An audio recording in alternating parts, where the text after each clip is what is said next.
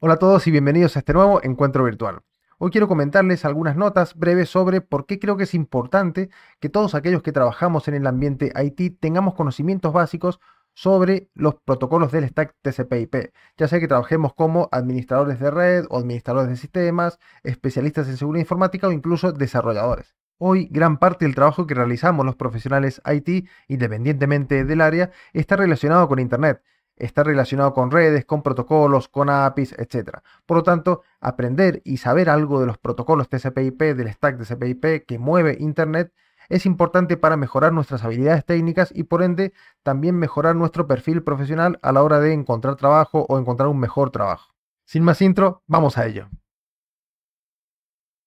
Este video forma parte también del curso de redes TCP/IP que publicamos hace muy poquitos días, así que muchísimas gracias a todos ustedes por estar ahí, por compartir las novedades, por comentar, por enviarnos sus mensajes. Y por supuesto, muchísimas gracias de corazón a todos aquellos que se han sumado a esta versión beta del curso y ya son parte del grupo de alumnos. Fueron muchos meses de elaboración de contenido, de grabación, de edición de video, de audio, etc. Así que espero que el contenido esté a la altura de las expectativas de todos que les guste y por sobre todo que les sirva para mejorar sus carreras o aunque sea para aprender un poquito más de este apasionante mundo de los protocolos de red TCP/IP. Sin más preámbulos, vamos a la presentación. He definido aquí algunos puntos de por qué creo que es importante que aquellos que trabajamos en IT sepamos algo, aunque sea de protocolos de red TCP/IP.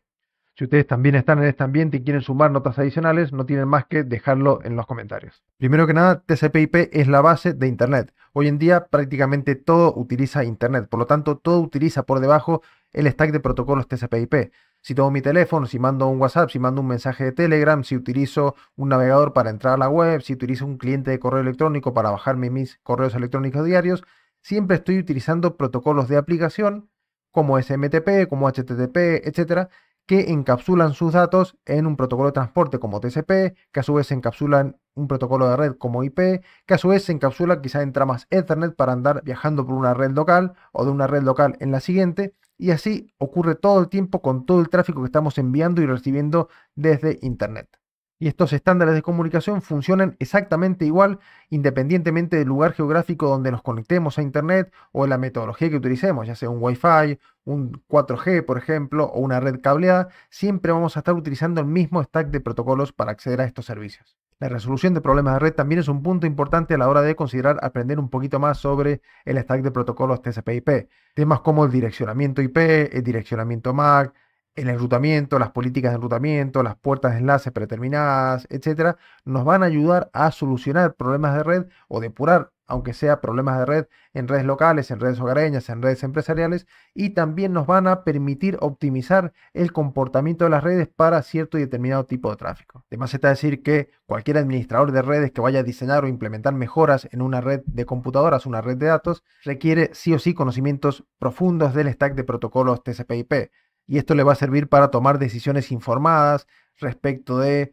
las configuraciones de red, del direccionamiento, del enrutamiento, del subnetting, de los dominios de colisión, dominios de difusión, etc. Y por supuesto también para la selección de los protocolos que va a utilizar dentro del stack. En cuanto a seguridad informática es fundamental conocer el stack de protocolos TCP/IP, ya que esto nos va a permitir entender la seguridad de una red de datos, nos va a permitir identificar diferentes tipos de ataques y amenazas de red tráfico anormal que pueda viajar en una red y por supuesto nos va a permitir también asegurar las comunicaciones en cuanto a privacidad, integridad y autenticidad de los datos que viajan por la red. Además, entender el stack TCP/IP también nos va a ayudar a seleccionar y entender un poco mejor aquellas implementaciones de seguridad que podemos utilizar dentro de redes de datos. Protocolos como SSL o TLS, conceptos de tunneling, herramientas de redes privadas virtuales o VPNs nos van a permitir asegurar los datos en comunicaciones en Internet, de manera cifrada utilizando mecanismos criptográficos. Y es importante conocer el funcionamiento del stack de protocolos TCP/IP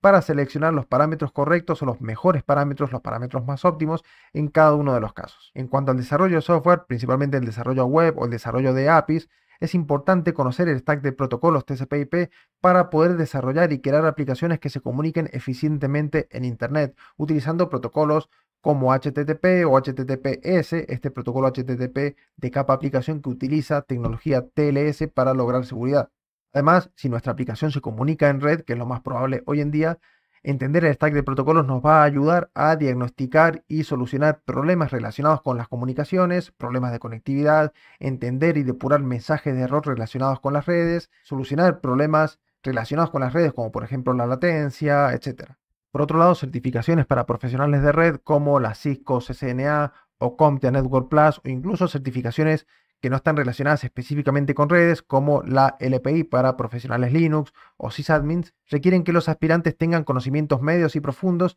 del stack de protocolos TCP/IP y de los principales protocolos del mismo, conocimientos que, dicho sea de paso, son muy valorados en el mercado laboral IT. Y por último, migración de protocolos y estándares. Si bien muchos de los protocolos que utilizamos en la actualidad fueron creados hace décadas y no han recibido demasiados cambios durante los últimos años, hay otros protocolos que sí que se actualizan más rápido que reciben cambios principalmente relacionados con la optimización, con los nuevos estándares de redes, con la seguridad informática, etcétera, más que nada los protocolos que no hacen al core de Internet. Y por ende, comprender TCP/IP es importante para entender cómo encajan estos nuevos estándares dentro de las redes actuales, cómo implementarlos, cómo configurarlos, cómo optimizarlos, cómo depurar errores, etcétera. Finalmente, cabe mencionar que TCP/IP es una serie de estándares documentados en los famosos RFC o Request for Comment, estos documentos de texto donde tenemos al detalle cada una de las especificaciones de protocolos. Por eso muchas veces es muy importante comprender el stack de protocolos TCP/IP a la hora de modificar alguna implementación existente, de crear alguna implementación nueva de algún servicio que corra en Internet,